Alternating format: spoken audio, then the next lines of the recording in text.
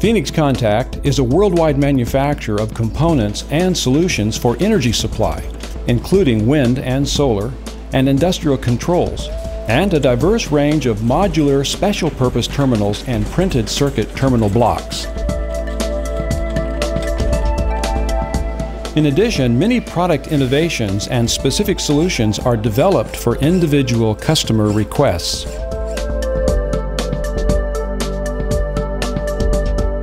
Phoenix Contact is a family owned company employing over 11,000 people worldwide.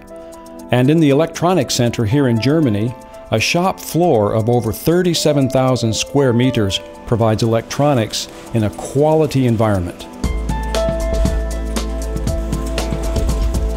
We are doing uh, 6,000 different products here at this site. And uh, talking about PCB uh, assembly, we do 15,000 PCBs a day, uh, which uh, means we had last year, in 2010, a little bit more than 200 million placements in the SMD production. One of the most important things for us is to get our products quickly to the market. It always starts with the design and ends, of course, with production. The customer expects a very short period of time. So we have to fulfill the market requirements in flexibility availability of products, and of course production costs and quality. The most challenge is we got uh, several libraries, we got several uh, CAD data with several libraries. We always do some manufacturing for some customers who we don't have libraries from them.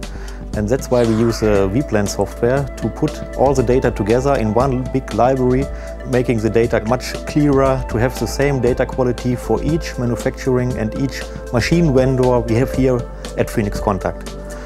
We have uh, SIPLACE Pro, we have MyData, we have Mimot, we have Fuji, and all the uh, data came from the vPlan software. We locate the vPlan software for Mentor Graphics at the source of the uh, CAD data because if there are any mistakes we can locate it very fast and fix it in the vPlan data but for the new process when the uh, product becomes a higher revision or something the CAD data can be fixed here in the source of the CAD data.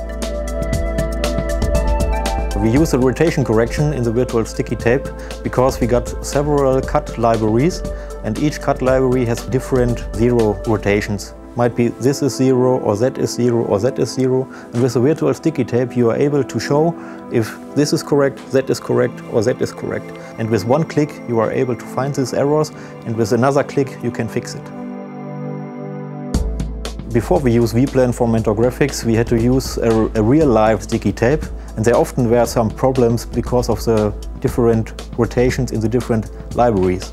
So you have to put some sticky tape on it, put it through the whole line and then check and then change it and change it again. And not only for one side, for both sides. And now this problem is 100% gone. I think we, we could save now 50 to 100% of the NPI time only for changing some rotations. It doesn't matter if we, if we make an NPI on Fuji or on SIPLACE, ASM or on MyData, because with one click in the vPlan software from Mentor Graphics, we are able to transfer one data to the other line, even with the shape data and part data and everything else, if it's not in the machine library already. Expansion our manufacturing floor doesn't even matter because uh, with vPlan from Mentor Graphics we are able to put any machine types in here. We always got the same data quality, same libraries, and we can change one product to the new lines with the new highest technology level, doesn't even matter.